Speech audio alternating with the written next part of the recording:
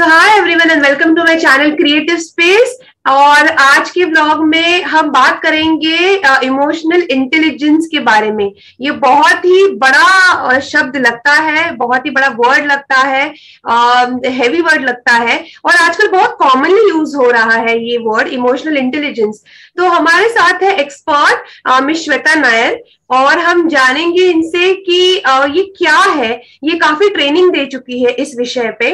So first of all thank you Shweta for doing this for my channel and welcome to creative space thank you so much Neha मैं बहुत खुश हूँ आज आपके साथ, आपके चैनल पे। थैंक यू मुझे इनवाइट करने के लिए। I am very happy to be here Yeah. So, hi everybody. My name is Shweta. I am. I have ten years of experience into the learning and development uh, area, and I'm currently a facilitator and coach with an IT company. Okay, okay, that's nice to know. Which very rich experience and uh, very perfect candidate for my blog. So let's start Thank with the so questions. Much. Yeah. Uh, सबसे पहले question जो हमारा ये topic है कि emotional intelligence मतलब क्या okay so emotional intelligence जैसे कि आपने कहा कि बहुत ही न्यू एज टर्म है बहुत लोग इसके बारे में बात करते हैं। तो अगर हम बोले तो वो जो टर्म है उसी हम्म। में उसका मीनिंग हमको समझ okay. आता है। छुपा हुआ है। हाउ हाँ जी। तो हम कैसे हमारे भावनाओं को इंटेलिजेंटली um, मैनेज करें? You know how to manage your emotions intelligently is the simplest सबसे आसान तरीका है इसको यू नो समझ किसी को समझाने का ओके okay. Right right? अगर एक आइसबर्ग को देखें हमने सब आइसबर्ग सुना होगा टाइटैनिक मूवी में भी दिखाया होगा तो अगर हम आइसबर्ग देखें तो उसका दस प्रतिशत ऊपर पानी के ऊपर रहता है राइट एंड yes. उसका नब्बे प्रतिशत पानी के नीचे रहता है ओके hmm. okay? तो जो दस परसेंट हम सबको दिखता है लोगों में वो उनका आईक्यू होता है जिसे बोलते हैं intelligent question okay that is your knowledge your skills what you show project externally to people उसको आई क्यू बोलते हैं और हमारा ई e क्यू पर उसका बहुत बड़ा असर I mean to say I Q it depends a lot on your E Q so वो यू you नो know, पानी के नीचे रहता है। सो ई क्यू में एम्पति रहता है इमोशन विद माइंडफुलनेस रहता है जिसके बारे में हम बात करेंगे। Then there is emotional contagion जिसे हिंदी में बोलते हैं संगत का असर। तो जिस लोगों से हम बात करते हैं जिनके साथ हम इंटरेक्ट करते हैं उनका बहुत बड़ा प्रभाव होता है हमारे ऊपर हमारे थॉट्स पे हमारे फीलिंग्स पे हमारे इमोशंस पे हमारे माइंड पे बहुत बड़ा uh, असर होता है। And of course social awareness relationship management ये सब ईक्यू e में रहता है। And all these things play a big part in how we project ourselves you know लोगों के सामने हम कैसे आते हैं। तो वो वो स्टार्टिंग प्रोसेस बहुत इंपॉर्टेंट है जो हमारे माइंड से शुरू होता है। So basically emotional intelligence simply put ये सब है। ओके ओके ओके एंड अभी इमोशंस और फीलिंग्स में डिफरेंस क्या है? Okay okay. तो इमोशंस बेसिकली हमारे बॉडी का एक फिजियोलॉजिकल रिएक्शन है। Okay. मतलब अगर जो एक्सटर्नल एक स्टिमुलाई हमको आता है जैसे कि हमको डर so heartbeat fast heartbeat breathlessness palpitation you know muscles हमारे कंस्ट्रिक्ट होते हैं यू नो सो ये हमारे बॉडी का रिएक्शन है और इसे हम इमोशन बोलते हैं ओके okay? तो हमारा माइंड जब उसको इंटरप्रेट करता है तो वो फीलिंग बन जाता है जैसे कि अगर if if you are having breathlessness और रैपिड हार्ट बीट तो फीलिंग क्या हुआ स्ट्रेस हुआ सैडनेस हाँ. हुआ एंगर हुआ तो वो माइंड जब इंटरप्रेट करता है उसको उसको हम फीलिंग बोलते हैं। राइट तो अगर हम एक पिरामिड की तरह एक ट्राइंगल की तरह सोचें हम्म। तो नीचे होगा इमोशन फिर होगा फीलिंग और उसका स्टार्टिंग होगा थॉट्स राइट और और ये सब मिला के आई मीन नॉट मिला के बट इन सब का कॉन्सिक्वेंस होगा हमारा एक्शंस और behaviour yes.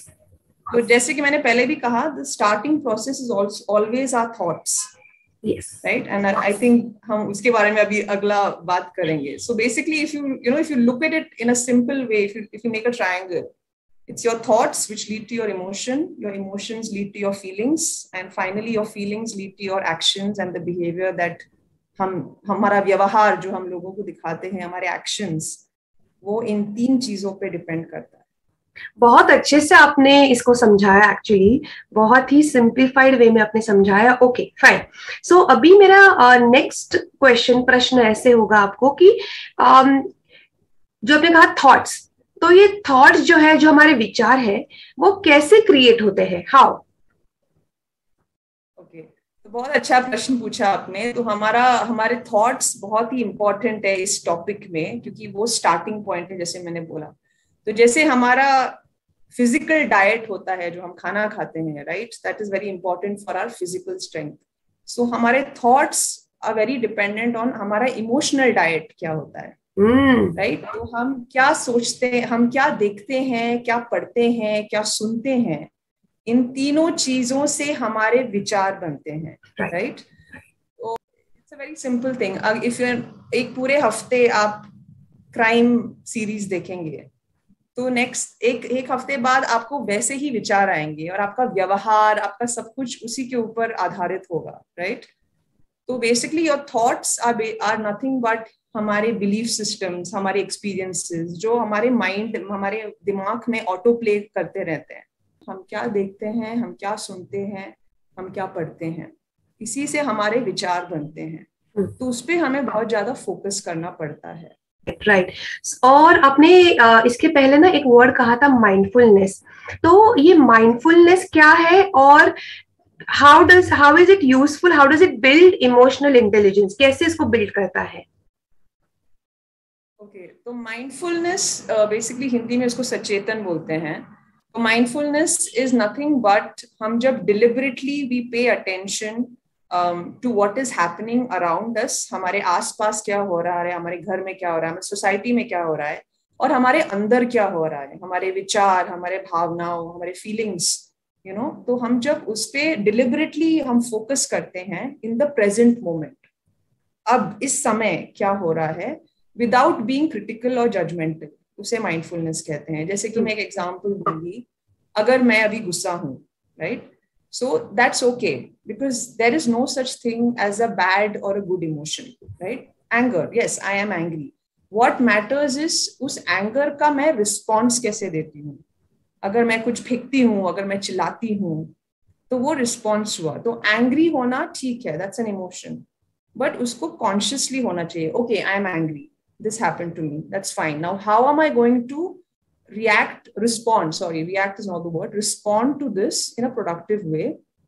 That is what really matters and that is mindfulness. So you are being conscious of what you're feeling and the present moment and you're not being judgmental. so you hum apne aap ko know gusse se nahi kyun shweta ko kyun gussa aa raha hai wo kyun mujhse aise baat kiya you know? So without कॉन्श without being judgmental ठीक है ये है अभी मैं what's my next step अब मैं क्या करने वाली हूँ इसको ठीक करने के लिए? हाँ, तो इमोशनली हाँ इमोशनली आप कैसे उसको इंटेलिजेंटली उस इमोशन को यूज़ करते हैं। That is mindfulness mindfulness and also mindfulness was actually is actually a form of meditation which was interestingly started by Zen Buddhist so Buddhist Buddhism में ज़ेन करके एक एक एक ग्रुप uh, है। Okay. तो उन्होंने माइंडफुलनेस एक्चुअली शुरू किया था this form of meditation and ये हम बहुत सारे एक्टिविटीज़ इसमें कर सकते हैं। जैसे कि अगर हम left handed left left hand से लिखते हैं mm. तो अगर हम राइट राइट हैंड से लिखे या right handed person left hand से लिखे तो उसमें क्या होता है? हम उसमें फोकस ज़्यादा डालते हैं। तो you have to be more conscious more mindful when you are doing that right और सपोज़ यू वॉक बैकवर्ड्स और you do a silly walk or you do something that shocks your body and shocks you as a person तो उसमें ज़्यादा conscious हम रहते हैं बहुत mindful रहते हैं तो उससे हम हमारा अवेयरनेस बढ़ता है। ओ तो जब अवेयरनेस बढ़ता है तो हम हम चीज़ों पे ज़्यादा ध्यान देने लगते हैं और उससे माइंडफुलनेस भी बढ़ता है। तो ये सिंपल चीज़ें हैं जो हम रोज कर सकते हैं यू नो इवन जब हम किसी से बात कर रहे होते हैं मोस्ट ऑफ़ द टाइम हम माइंडफुली बात नहीं करते। hmm. हम कभी कभी सुनते भी नहीं है उनकी बात। हम बीच बीच में टोकते हैं हम कहीं और चले जाते हैं। तो this is a practice which everyone can do हम जब माँ से बात करते हैं फ्रेंड्स से बात करते हैं तो माइंडफुली बात कीजिए। Be present in the moment उस मोमेंट में रहिए और जजमेंटल मत रहिए। Right right? तो ऐसे बहुत सारे एक्टिविटीज़ है जो हम कर सकते हैं। Thank you for sharing this because ये दो तीन जो आपने अभी टिप्स दिए हैं to shock your body I really like this bit ये हम बहुत आसानी से कर सकते हैं एंड इससे हमारा जो प्रेजेंट स्टेट का अगर चलो गुस्सा भी है, कोई भी इमोशन है, कोई भी भावना है, वो हम कर्व करके हम उसको थोड़ा सा इंटेलिजेंटली यूज़ भी कर सकते हैं आई थिंक या कभी कभी it's nice to have like just you know look at yourself from मतलब हम, अभी मैं यहाँ हूँ तो हम हम, हमारे बॉडी से निकल के बाहर खड़े होके हम अपने आप को देखें। अच्छा ये है। अभी ऐसा क्यों है? मैं ऐसा क्यों कर रही हूँ? और will this matter you know in in the next I don't know few days और few years so you know you are being conscious you are being in the moment and that really helps to like you said intelligently emotions को handle करना और उसको बहुत ही important है क्योंकि वो हमारे पर्सनल लाइफ में हमारे प्रोफेशनल लाइफ में ये सब चीज़ें बहुत इंपॉर्टेंट है। तो in order to be successful as a human being I think these these are small things which matter a lot you know so it's good to focus on these very well said very well said. Um तो अभी uh, मुझे बताइए इसके बाद की common misconception जो बोलते हैं या uh, इस टॉपिक को लेके क्या कॉमन मिसकनसेप्शन है? मिसकनसेप्शन मतलब uh, जो लोग गलत समझते हैं इस टॉपिक को लेके। ऐसे कुछ अगर इफ़ यू नो तो गलत uh, मतलब आई थिंक थोड़ा कंफ्यूजन रहता है ऐसे ऐसे हम बोल सकते हैं कि लोग कभी कभी सोचते हैं कि एम्पति एम्पति और इमोशनल इंटेलिजेंस सेम है which is not the case empathy मतलब understanding the other person perspective, unki tarika, putting yourself in the other person's shoes True. is empathy. And that is actually a part of emotional intelligence. It's not all of emotional intelligence. So this is something that some people say when, when sometimes when I talk to people and they say, you know, it's about EQ, yeah, they say, oh, you mean empathy, but no, it's not empathy. That's empathy is if if emotional intelligence is a puzzle, empathy is one block of that puzzle, right? So it's a big spectrum. और उसमें एक छोटा सा चीज है empathy तो अगर हम एम्पथेटिक बने तो जैसे कि मैंने कहा, हम दूसरे के नज़रिए से देखें पर्सपेक्टिव से देखें तो हम इमोशनल और उसके बाद इमोशनल इंटेलिजेंस कम्स इन हम उस पर एक्शन क्या लेते हैं, हम उस पर व्यवहार क्या करते हैं तो राइट तो वो होगा emotional intelligence And another misconception, I wouldn't call it misconception, but like difference between IQ and EQ. So IQ and EQ is not the same. IQ is your intelligent quotient, which is your knowledge, your skills, your ex- what, what you project externally, which is just 10% of what you are as a person. And your EQ is actually the 90% what's actually going on inside. And that really matters. So हम बोलते हैं ना कभी कभी बात करने की भी जरूरत नहीं पड़ती आगे वाले को समझ में आ जाता है हम क्या फील कर रहे हैं क्या क्या सोच रहे हैं right so that's that's the energy that's you know the vibration that we release you don't have to talk sometimes it's just and ये एक्चुअली एक एक्सपेरिमेंट uh, किया गया था अमेरिका में जहाँ पे इसको बोलते हैं मिरर न्यूरॉन्स तो जब अगर मैं और नेहा अभी बात कर रहे हैं right you and me are talking so some so what happens is हमारे ब्रेन में जो न्यूरॉन्स हैं वो सिमिलर न्यूरॉन्स फायर होते हैं. इसीलिए हम हम एक दूसरे का यू you नो know, एक ही भावना फील करते हैं। That that's what emotional contagion is तो इसीलिए वो संगत का असर जो मैंने बोला हम जैसे लोगों के साथ हम रहते हैं उनका असर हम पे बहुत पड़ता है बिकॉज़ ऑफ़ इट्स साइंटिफिक वो न्यूरॉन्स फायर होते हैं हमारे ब्रेन में।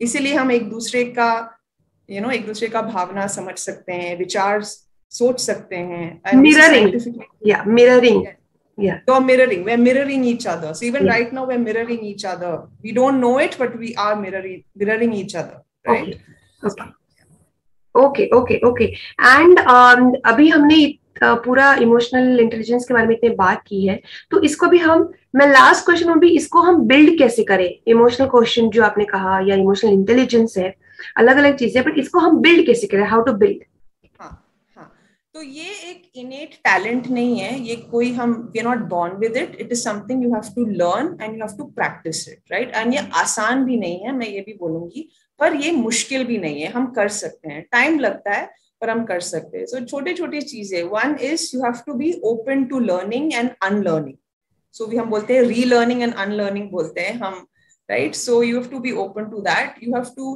and journaling is very good you know इसमें हम अगर सुबह सुबह in the morning itself if you if you write an emotional journal if you express if you gratitude have positive affirmation for the day you know give yourself emotional booster shots every day in the morning because सुबह सुबह हमारा mind fresh होता है। तो हम क्या करते हैं? हम उठते ही फ़ोन देखते हैं या न्यूज़ पढ़ते हैं और हमारा mind goes for a toss after that first thing in the morning give yourself that recharge refresh सिर्फ़ फ़ोन के लिए नहीं होता, हमारे लिए भी होता है। सिर्फ़ जूम में रिस्टार्ट करने से नहीं होता, हमको अपने आप को भी करना पड़ता है राइट तो सुबह सुबह अगर हम ये जर्नलिंग करें यू नो ग्रेटिट्यूड एक्सप्रेस करें positive affirmation for the day बोले right these are very important be open to feedback B very conscious of हम अपने आप से कैसे बात कर रहे your inner voice is very important how you talk to yourself हम बोलते हैं वो it's a conversation with universe so that is very important be act be an active listener observe people and you know try to imbibe good behaviors that they portray so you know these are small things and that you can you know do on a daily basis and trust me it really helps Yes. that is the starting point. so starting point सही है तो end result भी बहुत ही सही होगा। I completely believe ये मैं बहुत ज़्यादा मानती हूँ इस चीज़ में बिकॉज़ मेरे इसके पहले स्पिरिचुअलिटी पे एनर्जीज पे काफ़ी ब्लॉग्स हो चुके हैं। मैंने तीन चार ब्लॉग्स किए हैं। Everybody says the same thing कि yes. आप जर्नल आप लिखिए। आप एफर्मेशन मतलब क्या? थैंक यू कीजिए। यू नो ग्रेटिट्यूड दिखाइए। अच्छी चीज़ें लिखिए। आपको जो चाहिए वो लिखिए। अच्छी चीज़ें। तीन चीज़ों का थैंक यू कीजिए दिन में। वो अगर आपने स्टार्ट किया एनर्जी से, आप आपके विचार भी पॉजिटिव होते आपको दिखेंगे। तो ये साइंटिफिक भी है और जैसे श्वेता ने भी कहा कि इसमें भी बहुत यूज़ होता है यू नो इमोशंस में आपके फीलिंग्स में भी बहुत यूज़ होता है। So thank you again Shweta for saying this bit on this vlog again yes, it's very important and i practice it myself तो मैं वही सलाह दूँगी जो मुझे मेरी खुद ज़िंदगी में मैंने एक्सपीरियंस किया है। And it's very good that हम हर एक घंटे या हर दो तीन घंटे हम पॉज करें एंड इसको बोलते हैं traffic check traffic control uh, मैं जो स्पिरिचुअल पाथ में मानती हूँ उनमें बोलते हैं। तो हम स्टॉप करके यू you नो know, बस सोचे कि पिछले एक घंटे में मैंने क्या क्या सोचा मेरे क्या भावनाएँ थे मैंने कैसे बात किया मैंने क्या सोचा। और you know just pause and think ठीक है नाउ नेक्स्ट राइट तो जब हम पॉज करते हैं और रिफ्लेक्ट करते हैं तो हमें थोड़ा पर्सपेक्टिव सही हो जाता है। hmm. हम क्या करते हैं वो बोलते हैं ना ऑटो प्ले में चलते हैं। वो ऑटो वो रिकॉर्डर चलता रहता है चलता रहता है। वो रिकॉर्डर बंद करके सोचना चाहिए अच्छा ठीक है मैंने अभी क्या किया? एक घंटे में मैंने मैंने मैंने चिल्लाया मैंने अच्छे से बात किया मैंने काम अच्छा किया मैंने क्या किया? You pause you restart you refresh you recharge and then you move on so yes yes I think on this note we have covered everything हमने सारे टॉपिक्स एक अवेयरनेस क्रिएट करने के लिए uh, जो भी चीज़ें हैं आई थिंक श्वेता आपने बहुत अच्छे से uh, इस ब्लॉग में आई थिंक अपने बताई है. एंड टू द व्यूअर्स अगर आपको कुछ इसमें और जानकारी चाहिए डेफिनेटली आप श्वेता के टच में आ सकते हैं मेरे टच में आ सकते हैं. कमेंट सेक्शन में आप पूछिए कि आपको किस चीज़ में दिक्कत आ रही है या इसके बारे में अगर आप और डिटेलिंग चाहिए हम बात कर सकते हैं इसके बारे में भी. And um, Shweta thank you once again for doing this for my channel. I am going to sketch your beautiful face as a thank you gesture from my end. Hope you like it. And thank you once again. Thank you so much, Neha. This was really lovely. मैंने बहुत enjoy किया. Thank you so much. Yes. Bye. And subscribe, guys. Shweta, tell all your friends to subscribe. subscribe. Yes. I will. I will tell everybody. Please subscribe to Neha's channel, Creative Spaces. It's amazing. It's it's informative, it's fun, it's creative. Thank you, everybody. Bye.